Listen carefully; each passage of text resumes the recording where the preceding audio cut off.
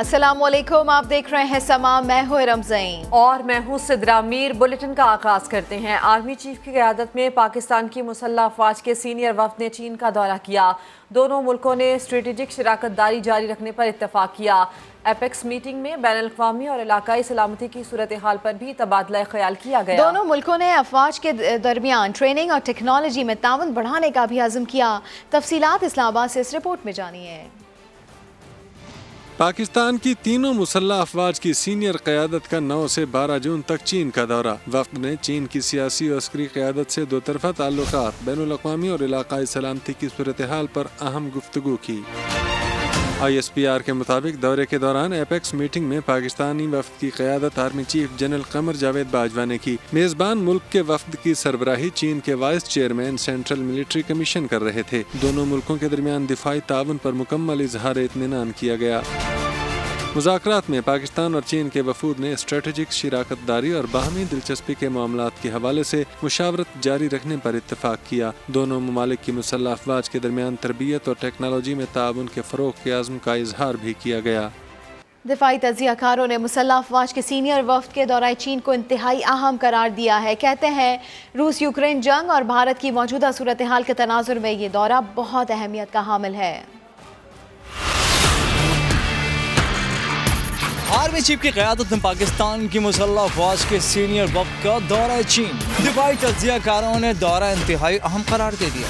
Brigadier retired Mahmood Shah कहते हैं, पाक चीन ताल्लुक में मजीद गर्म जोशी पैदा होगी। पिछले हुकूमत में सी पैक जो कि एक मेजर मनसूबा है, इस रीजन को चेंज करने के लिए और पाकिस्तान को भी इसके बहुत फवाद है और इस तरह चीन को भी है उसके ऊपर काम को स्लो किया गया। एक तरीके से पाकिस्तान और चाइना के ताल्लुक में सरमोरी भी आ गई थी जो कि एक सच्चा साइन नहीं था। मेरे ख्याल में ये उन ताल्लुक को गर्मजोशी की तरह तरफ़ लाने में काफ़ी मददगार साबित होगा ब्रिगेडियर रिटायर्ड हारिस नवाज़ कहते हैं दौरे के मुस्बत असरात सामने आएँगे। ये देखें ये तो एक बहुत ही ज़रूरी भी है और हमेशा हमेशा चीन से पाकिस्तान का मिलिट्री मिलिट्री कॉन्ट्रैक्ट रहता है और ये आला वक्त में किया है। जिन ऑफिसर का आई एम श्योर के इस पे जाके उन्होंने बहुत ज़्यादा डिटेल में पाकिस्तान, इंडिया चाइना की जो है सफ़ाई सिस्टम की जो है वो बात की होगी। भाई तजियाकारों का कहना है कि रूस यूक्रेन जंग, भारत की मौजूदा सूरत हाल के हवाले से दौरा बहुत अहमियत का हामिल है। अब आपको ये खबर दें कि पीटीआई पंजाब की पार्लिमानी पार्टी में इख्तलाफात सामने आ गए हैं। समा इजलास की अंदरूनी कहानी सामने ले आया। तहरीक इंसाफ, नजरियाती ग्रुप और P T PTI Parvez Elahi group बन गया। अपोजिशन लीडर के मामले पर अभी तक इत्तेफाक ना हो सका। जराए के मुताबिक उस्मान बुजदार और यासमीन राशिद नाराज़ होकर इजलास से उठकर चले गए। मोहसिन बिलाल से इजलास की अंदरूनी कहानी जान लेते हैं। मोहसिन, बताइए क्या इतलात सामने आ सकी हैं? जी, बिल्कुल, पार्लिमानी कमेटी के इजलास में अपोजिशन लीडर पंजाब असम्बली के नाम पर इतफाक नहीं हो सका और हर कोई अपने अपने दरिया के नाम लेता रहा जो नजरियाती ग्रुप है पीटीआई का, उसका ये कहना है कि राजा यासर हमायूं सिप्तैन खान और नियासलम इकबाल जो है वो पार्टी के लाइन हैं और इनको सामने लाना चाहिए, जबकि जो परवेज राही ग्रुप अब नया उभर कर पीटीआई में सामने आया है। उनका ये कहना है कि राजा बिशारत मियाँ महमूद रशीद, या इसके अलावा कोई नाम होना चाहिए। दो बजे ये पार्लिमानी कमेटी का इजलास जो है वो होना था और मुख्तसर तरीन जो है ये इजलास हुआ, जिसकी बड़ी वजह यह है कि जो दो नजरियाती ग्रुप हैं वो खुलकर सामने आगे और यही वजह है कि डॉक्टर यासमी राशिद और उस्मान बुजदार जो है अभी इजलास शुरू हुआ ही था कि इजलास को दरमियान में छोड़कर जो है वो उठ के चले गए। जब इस हवाले से डॉक्टर यासमीन राशद से हमने बात की कि आप क्यों आ गई और क्या आपसे नहीं पूछा गया कि अपोजिशन लीडर कौन होना चाहिए तो उनका ये कहना था कि मैं क्या और मेरी हैसियत क्या इसके ऊपर भी बहुत रहनुमा मौजूद हैं। तहम अब जितने भी रहनुमा पीटीआई के बाहर निकले हैं पार्लिमानी पार्टी के इजलास से उनका ये कहना है कि अब ये हतमी फैसला जो है वो चेयरमैन पीटीआई इमरान खान जो है वो करेंगे। तहम अभी तक कोई ऐसा नाम सामने नहीं आ रहा जिस पर पंजाब की जो पार्लिमानी पार्टी है या कमेटी बनाई गई है वो मुतफिक हो क्योंकि हर कोई अपने अपने तफसील बताने के लिए आपका शुक्रिया। स्पीकर पंजाब असम्बली चौधरी परवेज इलाही का कहना है बजट इजलास पुरम होगा या नहीं इसका इसार नून लीग पर है। काफ लीग में इख्तलाफ के सवाल पर चौधरी परवेज इलाही ने कोई जवाब ना दिया। समा के नुमाइंदे मोहसिन बिलाल से चौधरी परवेज इलाही ने क्या गुफ्तु की उनसे बात कर लेते हैं। जी मोहसिन बिलाल बताइएगा इस बारे में। पंजाब असम्बली चौधरी परवेज इलाही हमारे साथ मौजूद है। चौधरी साहब ये बताइएगा कल का इजलास जो है वो स्मूथ होगा या बतौर स्पीकर आप कोई ये ये नून लीग के ऊपर डिपेंड करता है। यानी नून लीग पे डिपेंड करता है? हाँ बिल्कुल। एक एक जो उनका पॉइंट होगा उनकी एक एक मूवमेंट जो है ना मैं वाच कर रहा हूँ जो ये वो करते रहे हैं। हम्म। जैसे हमारे लोगों को मारा है ख़वातीन को मारा है और जो तहरीक के वक्त ख़वातीन के साथ बदसलूकी की है वो भी हमारी नज़रों में है। अच्छा चौधरी साहब मियाँ महमूद रशीद राजा बिशारत आपका वोट किसमें है बतौर अपोजिशन लीडर मेरा मैं बिल्कुल स्पीकर का कोई वोट तो नहीं नहीं पार्लिमानी कमेटी में बैठ हैं। मिल के बात होगी। अच्छा लास्ट में बता दें कि काफली दो ले जा रही है। बिल्कुल चौधरी परवेज लाई हमारे साथ मौजूद थे। उनका ये कहना है कि जो पंजाब असम्बली का इजलास है वो पूरा मन हो, ये डिपेंड करता है मुस्लिम लीग नून पे, जी। मोहसिन बिलाल अपडेट कर रहे थे, नून लीग ने सूबाई पार्लिमानी पार्टी का इजलास आज तलब कर लिया। वज़ीर अला पंजाब हमजा शहबाज इजलास की सदारत करेंगे।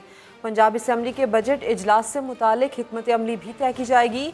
वज़ीर अला पंजाब हमजा शहबाज इस इजलास की सदारत करेंगे। नून लीग की सूबाई पार्लिमानी पार्टी का इजलास आज तलब कर लिया गया है। बहुत से मामला हैं जो कि जेर गौर हैं। बजट अजलास के बारे में भी इस पर बात की जाएगी। हमत अमली भी तय की जाएगी। वज़ीर अल पंजाब हमजा शहबाज इस अजलास की सदारत करेंगे। तो नून लीग की सूबाई पार्लिमानी पार्टी का ये अजलास है, जो कि आज तलब किया गया है। वज़ीर अला पंजाब हमजा शहबाज इस अजलास की सदारत करेंगे। पंजाब हुकूमत ने लोकल गवर्नमेंट एक्ट 2019 बहाल कर दिया। तमाम अजला में मकामी हुकूमतों के एडमिनिस्ट्रेटर्स बहाल कर दिए गए हैं। इसी के ऊपर बात कर लेते हैं। दानिश मुनीर हमारे साथ मौजूद हैं। दानिश, बताइएगा इस बारे में। आज बिल्कुल पंजाब हुकूमत की जानब से लोकल गवर्नमेंट एक्ट दो हज़ार उन्नीस को बहाल कर दिया गया है। जारी नोटिफिकेशन के तहत तमाम अजलात में मुकामी हुकूमतों के एडमिनिस्ट्रेटर मुकर कर दिए गए जिसमें आठ जून दो हज़ार इक्कीस को लोकल गवर्नमेंट ऑर्डिनेंस जो खत्म हो गया था, जिस पर मेट्रोपोलिटन कॉरपोरेशन लाहौर का एडमिनिस्ट्रेटिव जो है वो कमिश्नर लाहौर होंगे और लोकल गवर्नमेंट एक्ट दो हज़ार उन्नीस की बहाली का जो बाकायदा तौर पर नोटिफिकेशन जारी कर दिया गया जिसके तहत मुकामी हुकूमतों का इंतजामी निज़ाम दो हज़ार तेरह के मुताबिक चलेगा और लोकल गवर्नमेंट के तमाम जितने भी कवायद जाबित है वो एडमिनिस्ट्रेटिव संभालेंगे। बहुत शुक्रिया दानिश मुनीर आपका। पंजाब काबीना की तश्कील का दूसरा मरहला फिर ताखिर का शिकार पीपल्स पार्टी क्यादत के तहफात और दीगर मसाइल हल ना हो सके वजी अजम शहबाज शरीफ और वजी अला पंजाब हमजा शहबाज की अहम मुलाकात हुई, जिसमें पंजाब काबीना में तोसी समेत दीगर उमूर पर बातचीत की गई। वज़ीर अजम शहबाज शरीफ से वज़ीर अला पंजाब की मुलाकात में अहम मुशावरत। पंजाब काबीना की तश्कील का दूसरा मरहला एक बार फिर ताखीर का शिकार। वज़ीर खजाना पंजाब के हल्फ का मामला भी मुलतवी। मुलाकात में पंजाब काबीना में तोसी समेत दीगर उमूर पर बातचीत की गई। पीपल्स पार्टी क्यादत के तहफात समेत दीगर मसाइल पर तफसीली गुफ्तु हुई। पंजाब काबीना की तश्कील का दूसरा मरहला बजट सेशन के बाद होने का इम्कान है। बीस के करीब अरकान हल्फ उठाएँगे। उजमा बुखारी, राना मशहूद अहमद, मियाँ मुशतबा शुजा और रहमान काबीना का हिस्सा होंगे। मलिक तनवीर असलम, बिलाल यासीन, सैफ खोखर की शमूलियत का भी इम्कान है। खलील ताहिर सिंधु, चौधरी इकबाल गुज्जर, कर्नल रिटायर्ड तारिक भी शामिल होंगे। पंजाब हुकूमत का छः सौ तिरासी अरब पचास करोड़ रुपए का तरक्याती बजट तैयार कर लिया गया। कोई नया टैक्स नहीं लगाया जा रहा। कम आमदन वाले अफराद को बिजली के बिलों में खसूसी रियायत दी जाएगी। बजट तेरह जून को पेश किया जाएगा। इससे मुतालिक मजीद तफसीत बता रही हैं साथी एंकर मुनीस मोइन।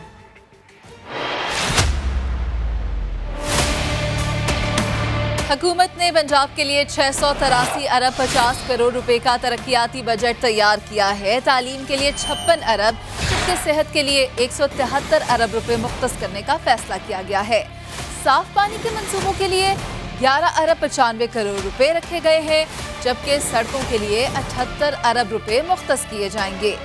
मुस्तकम तरक्याती मनसूबों के लिए अट्ठावन अरब पचास करोड़ रुपए रखे जाएँगे। पब्लिक प्राइवेट पार्टनरशिप मंसूबों के लिए 45 अरब रुपए मुख्त किए जाएँगे, जबकि शहरी तरक्की के लिए 21 अरब, ज़रात के लिए 14 अरब 77 करोड़ और जंगलात के लिए चार अरब पचास करोड़ रुपए मुख्त किए गए हैं। जनूबी पंजाब के लिए इकतीस अरब पचास करोड़ रुपए मुख्त किए गए हैं। पंजाब के महकमा खजाना के तर्जुमान ये कहते हैं कि बजट में कोई नया टैक्स नहीं लगाया जाएगा जबकि महँगाई पर कंट्रोल के लिए खसूसी इमदादी पैकेज भी मुतारफ करवाया जाएगा। माहाना बीस हज़ार रुपए तनख्वाह लेने वाले फैसलाबाद के फैक्ट्री मजदूरों ने पंजाब बजट से उम्मीद बाँध ली। मजदूर तनख्वाहों में कितना इजाफा चाहते हैं जानते हैं अब्दुल्ला हद की इस रिपोर्ट में। कम उजरत कितनी होगी? मजदूरों ने पंजाब के बजट से आस लगा ली। बीस हज़ार तनख्वाह में गुजारा करने वाले फैसलाबाद की टेक्सटाइल फैक्ट्रियों के मजदूर घर का राशन लें बच्चों को पढ़ाएँ या फिर बिजली और गैस के बिल अदा करें। तनख्वाह के लिहाज से महँगाई बहुत ज़्यादा है। समझ नहीं आती क्या लें और क्या ना लें। चलो कोई तीस पैंतीस के साथ ना कोई आदमी गुजारा कर सकता है। एक काम होता है या किराया दे लें या बिल दे लें या घर का खर्चा चला लें। कम से कम तीस हज़ार तो मजदूर की तनख्वाह होनी चाहिए ना। सनतकारों का कहना है, बढ़ती महँगाई से अखराज में इजाफा तो हुआ, मगर वर्कर्स को हुकूमती ऐलान के मुताबिक तनख्वाहें देने के हक में हैं। महँगाई की ये सूरत हाल है कि जैसे वो गरीब तबके को भी अफेक्ट कर रही है, इसी तरह इंडस्ट्रियलिस्ट को भी अफेक्ट कर रही है। और जो कॉस्ट हमारी है, वो डे बाई डे बढ़ती चली जा रही है। बिजली पेट्रोल और गैस की इनकी प्राइसेस ऊपर जा चुकी हैं काफ़ी ज़्यादा। तो मिनिमम वेज में थोड़ा बहुत तो गवर्नमेंट को चाहिए कि इजाफा होना चाहिए, लेकिन अल्टीमेटली बिजनेसमैन को वो नेगेटिवली इम्पैक्ट करेगा। माली साल 2022-23 के पंजाब बजट में हुकूमत मजदूरों को खुश कर पाएगी या नहीं ये तो आने वाला वक्त ही बताएगा। कैमरामैन कदीर रहमान के साथ अब्दुल्ला हद सामा फैसलाबाद। और वज़ीर अजम ने विफाकी बजट को गरीब दोस्त करार दे दिया। ट्विटर पैगाम में वज़ीर अजम शहबाज शरीफ ने लिखा गुजशत हुकूमत के मुकाबले में ये बजट कई तरह की नुमाया बेहतरी दिखा रहा है। नौजवानों को तालीम के ज़्यादा मौाक़े फराहम किए गए हैं। बजट में बलोचिस्तान को ख़ास तौर पर अहमियत दी गई है। मुआशी तौर पर कमज़ोर तबकात को सब्सिडी दी जा रही है। सबसे अहम पहलू ये है कि अमीरों के गैर पैदावारी असासों पर टैक्स लगा दिया गया है। महँगाई के इस दौर में गरीब आदमी को रिलीफ फराहम करने के लिए हुकूमत की कोशिशें जारी हैं। लाहौर के मॉडल बाजारों में खाने पीने की अशिया के सस्ते दामों फरोख जारी है। तफसीत जानिए मोहम्मद अली रजा की इस रिपोर्ट में। लाहौर के मॉडल बाजारों में खरीदारों का रश क्योंकि अशिया खुर्दनोश की कीमतें आम बाजारों से हैं कम। मॉडल बाजारों में सस्ते आटे के स्टॉल्स भी लगाए गए हैं ताकि आम आदमी को रिलीफ फराहम किया जा सके। महँगाई के जो हालात जा रहे हैं मार्केट में बाज़ार में। इन हालात में यहाँ जो थोड़ी बहुत रियायत मिल जाती है मेरा ख्याल ये काफ़ी लोगों के लिए काफ़ी इसमें अट्रैक्शन है।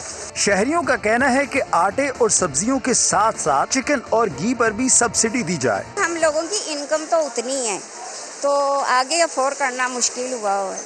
यही सारा मसला है। फिर इधर आते हैं, इसलिए कि कुछ रियायत मिल जाएगी इधर से। बाहर से लेना तो बहुत मुश्किल हुआ हुआ है। खरीदारों ने ये शिकवा भी किया है कि जितनी महँगाई है, इसके मुकाबले में हुकूमत के इकदाम कम हैं। आम आदमी की इनकम तो उतनी की उतनी है, लेकिन अखराज दिन ब दिन बढ़ते चले जा रहे हैं। शहरियों का कहना है कि महँगाई गोल करने के लिए हकूमत को बेहतर से बेहतर इकदाम करने होंगे। कैमरा मैन इशफाक अबासी के साथ मोहम्मद अली रजा समा, लाहौर। विफाकी बजट तो आ गया, मगर आवाम की तो पूरी ना हुई। कराची के बजट बाजारों में आने वाले खरीदार कहते हैं, बजट से पहले ही महँगाई ने जीना मुहाल कर दिया था। अब तो रिलीफ का भी कोई इम्कान नहीं है। बजट से पहले ही महँगाई कर दी थी उन्होंने। और अब बजट आने के बाद अभी इसका इम्पैक्ट आएगा पहली तारीख से क्योंकि पेट्रोल और डीजल की कीमतें उन्होंने पहले ही बढ़ा दी थी। हाँ रिलीफ हुआ है गवर्नमेंट को रिलीफ मिला है गवर्नमेंट को पैसे मिलेंगे गवर्नमेंट ही कमा रही है गरीब आदमी कहाँ कमाएगा? हालात ही पाकिस्तान के ऐसे नहीं है कि उसमें उम्मीद हो कि रिलीफ मिल सकता है तो ये डर है कि इससे और भी ना जो है ना बढ़ना जाए। महँगाई बहुत है लेकिन खुद को तब्दील भी नहीं करना। पाकिस्तानियों की चाय से चाहत का ये आलम है कि एक साल में तिरासी अरब रुपए से जायद चुस्कियों में उड़ा दिए। यही नहीं, पाकिस्तानी अवाम खूबसूरती पर भी कोई समझौता करने को तैयार नहीं। उनासी अरब रुपए की हेयर कलर मंगवाई गई। मुआशी हालात जो भी हों, पाकिस्तानी अवाम अपने शौक पर समझौता नहीं करते। माली साल 2021-22 में बैरून मुल्क से अरबों रुपए की चाय और गाड़ियों की दरामद ताज़ा मिसाल है। इकतसादी जायजा रिपोर्ट के मुताबिक मौजूदा साल के दौरान पाकिस्तानियों ने तिरासी अरब रुपए से जायद की चाय पी। गुजशत साल बैरून मुल्क से सत्तर अरब रुपए की चाय की पत्ती मंगवाई गई थी। बालों को रंगने समेत दीगर कलर पर उनासी अरब रुपए से जायद उड़ा दिए गए। दवाओं की दरामद पर 10 खरब से जायद रकम खर्च हुई। माली साल 2021-22 में पाकिस्तानियों ने बैरून मुल्क से 43 लाख से जायद कारें 44 लाख मोटरसाइकिल्स और पचहत्तर हज़ार से जायद रिक्शे भी मंगवाए, जिन पर कसीर जर मुबादला खर्च हुआ। जहीर अली खान, समा, इस्लामाबाद। कराची के इलाके गुलशन इकबाल में खौफनाक आतिशदगी पुलिस की जानब से पकड़ी गई 600 से ज़्यादा गाड़ियाँ चल गई। फायर ब्रिगेड की छह गाड़ियों ने तीन घंटे बाद आग पर काबू पाया। सात साबरी रिपोर्ट करेंगे।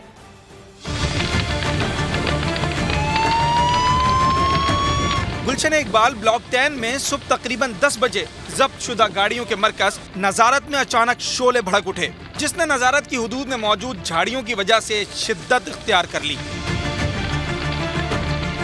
और देखते ही देखते दर्जनों गाड़ियों और मोटरसाइकिलों को लपेट में ले लिया, जिससे कोई जानी नुकसान तो नहीं हुआ, लेकिन मुख्तलिफ़ मुकदमात में पकड़ी गई लाखों रुपए की गाड़ियाँ तबाह हो गईं। नजारत के अतराफ रहने वाले शहरी कहते हैं कि माजी में भी कई बार इस तरह की आग लग चुकी है। हमारी जिंदगियों से ये लोग खेल रहे हैं ये पहली दफ़ा का नहीं है कि पहली दफ़ा आग लगी है। लेकिन इन सात सालों में ये आग इतनी सीवियर थी इतनी सीवियर थी कि अगर थोड़ी सी अगर आप लोग नहीं पहुँचते रेंजर्स नहीं आती फायर ब्रिगेड्स नहीं आती तो यहाँ पे एक नहीं दो नहीं पत्नी कितनी जाने चली जाती। हाथ जोड़ के दरख्वास्त करते हैं हमारी ज़िंदगियों से ना खेलें पीछे से ये गाड़ियाँ हटवा दें ये झाड़ियाँ हटवा दें। कमर्शियल गवर्नमेंट से मेरी दरख्वास्त है कि इस नज़ारत को एक साइज़ वाली जो पुरानी गाड़ियाँ हैं इसको नॉर्दर्न बाईपास पे जो ज़मीन इनको दी गई है और अगर आ, कोई मसला है तो इसको यहाँ से शिफ्ट करें वरना हम लोगों की तमाम जिंदगियाँ जो हैं वो खतरे में हैं। इत्तला मिलने पर फायर ब्रिगेड की पाँच गाड़ियों और दो वाटर बाउजर की मदद से आग पर काबू पाया गया। इंचार्ज नजारत का दावा है कि आग हाई टेंशन वायर की वजह से लगी है। आग लगने की वजूहत क्या है? हाई टेंशन वायर की वजह से लगी है ये आग। अच्छा। तो ऊपर से वो तार गिरी है या स्पार्क किया है? दरख्त स्पार्क किया। गिरी और नीचे आ गया। नजारत हुकाम के दावे के मुताबिक आग लगने से तकरीबन 500 मोटरसाइकिलों समेत एक बस और मुताद गाड़ियाँ जल गई हैं जबकि आग लगने की वजह और नुकसान का हतमी तयन तहकीकात के बाद होगा। कैमरामैन मरगूब हुसैन के साथ सात साबरी समा कराची। अब आपको ये बताएँ कि कोयटा में कई लोगों की जानें बचाने वाले ऑयल टैंकर ड्राइवर को बड़ा एहसास मिल गया। Army chief general Qamar Javed Bajwa ने ड्राइवर फैसल बलोच को अवार्ड से नवाजा। पाक फौज के शुबाई ताल्लुकात आमा की जानब से जारी एलामिया में बताया गया है कि फैसल बलोच जलता ऑयल टैंकर तीन किलोमीटर तक चलाकर आबादी से दूर ले गए थे। फैसल बलोच ने सात जून को कोयटा में अपनी जान पर खेलकर कीमती जानें बचाईं। फैसल बलोच को कोर हेडक्वार्टर्स कोयटा में नकद इनाम से भी नवाजा गया। मुस्लिम लीग नून की रहनुमा असमा बुखारी प्रेस कॉन्फ्रेंस कर रही हैं। ढूंढनी चाहिए, उसका भी सियासी इस्तेमाल किया। और उसकी इजाज़त के बगैर इन तमाम चीज़ों को पब्लिक किया गया। और पब्लिक भी अपने एक क्लोज फ्रेंड, जो उस वक़्त उनके गालिबन स्पेशल असिस्टेंट भी थे, उनके टीवी चैनल पर इसको चलवाया गया। और चलवाने के फ़ौर बाद जो है, वो थोड़ी देर में जब चेयरमैन नैब के ऊपर प्रेशर आया तो उसके बाद उनको जब उनको आ, उनसे गारंटी ले ली गई कि मालम जब्बा जो है वो बंद कर दिया जाएगा हेलीकॉप्टर बंद कर दिया जाएगा परवेज़ खटक साहब के जो केसेस हैं उनको नहीं खोले जाएँगे। के पी के की बिलियन ट्री सुनामी का जो बहुत बड़ा फ्रॉड और डकेती है उसके ऊपर आँखें बंद कर ली जाएँगी। तो फिर उसको जो है उसके ऊपर तरदीद चला दी गई। मैं पूछना चाहती हूँ कि वो शख्स जिसको सादिक और अमीन जो है वो साकिब निसार जैसे एक आदमी ने, जो खुद कभी भी इस अहदे का जो है वो हकदार नहीं था, जो खुद सादक और अमीन नहीं था, जिसने खुद जो है वो टेलीफोनों पे जीआईटियाँ बनवाई, जिसने खुद आप मियाँ नवाज़ शरीफ साहब को एक साजिश के तहत और मरीम नवाज़ को एक साजिश के तहत मुकदमात में फंसाकर राह से हटाया, उस शख्स को जिसने इसको सादक और अमीन का सर्टिफिकेट दिया आज एक खातून बर्मला ये कह रही है कि मैंने अपनी वो प्राइवेट वीडियो जो मैंने अपने लिए इंसाफ हासिल करने के लिए दी थी, अमानत के तौर पर, इमरान खान को दी थी, उस अमानत के तौर पर मिलने वाली वीडियो का नाजायज़ इस्तेमाल किया गया। ना सिर्फ़ उस औरत की प्राइवेसी को ख़राब किया गया, बल्कि दूसरी तरफ़, अपने जो स्कोर सेटल करने थे सियासी मुखालफी के साथ भी और जो चेयरमैन नैब को भी अपनी उंगलियों पर नचाना था, उसके लिए जो है वो राह हमवार की गई।